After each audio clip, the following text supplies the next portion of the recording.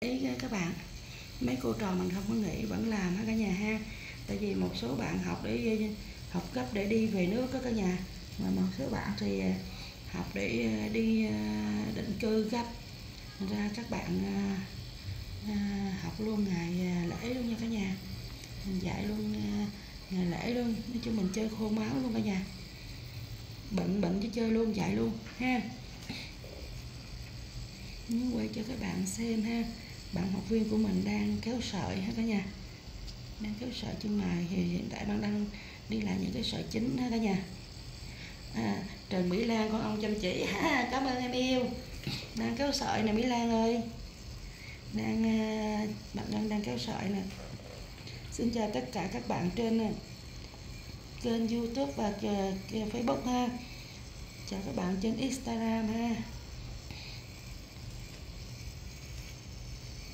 Chào các bạn trên shop và trên tiktok luôn nha.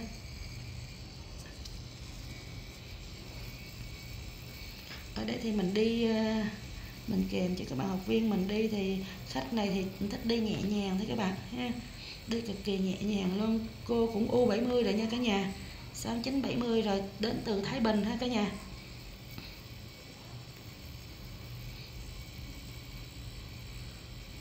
Đi chậm chậm kéo về rồi còn lại đấy đi tiếp đúng rồi đúng rồi, kéo về là mình. Em đá ngược đá ngược chút xíu thôi hiểu không? Đá ngược chút không đá ngược nhiều, đúng rồi. Nó công vô công vô công vô. Nó đúng nó nó công vô từ từ, đi từ từ thôi. Tập bẻ da người ta. Tập bẻ nè, căng da nè, bẻ qua, sorry, các bạn không có đeo bao tay nha. Tôi đang dạy nè, căng bẻ qua, bẻ lại nè, hiểu không?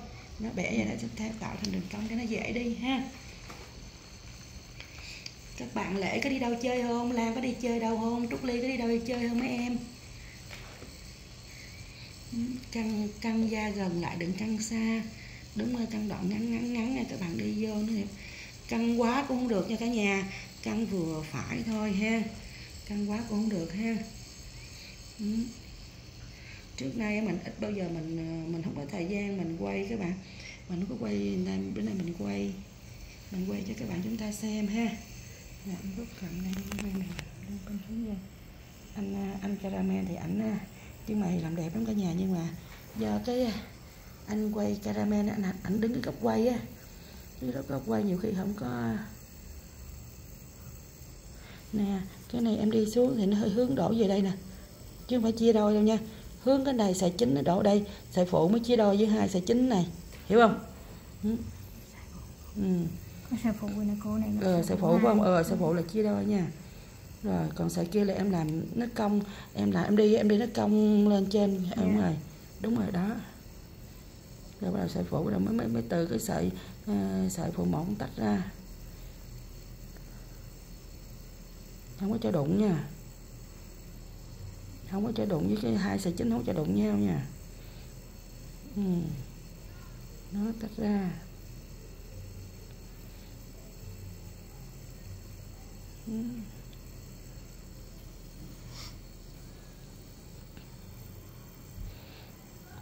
xin chào cả nhà nha. Mình đang kèm một một ha các bạn ha? Kèm à, học viên của mình à, đi sợi hai trót ha cả nhà? Đúng rồi kéo miết miết miết miết miết miết rồi. Ừ một phần sợi một phần ba ha. Một với một phần ba, đó. Đúng rồi, đó.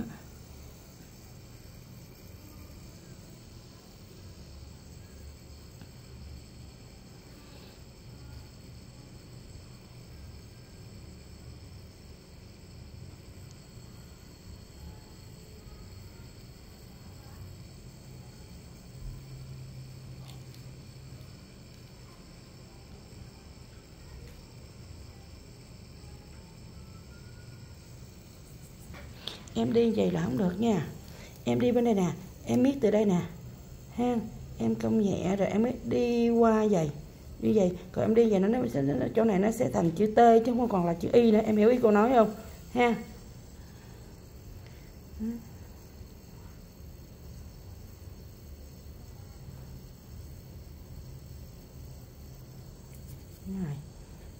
Hiểu chưa? Ha. Rồi.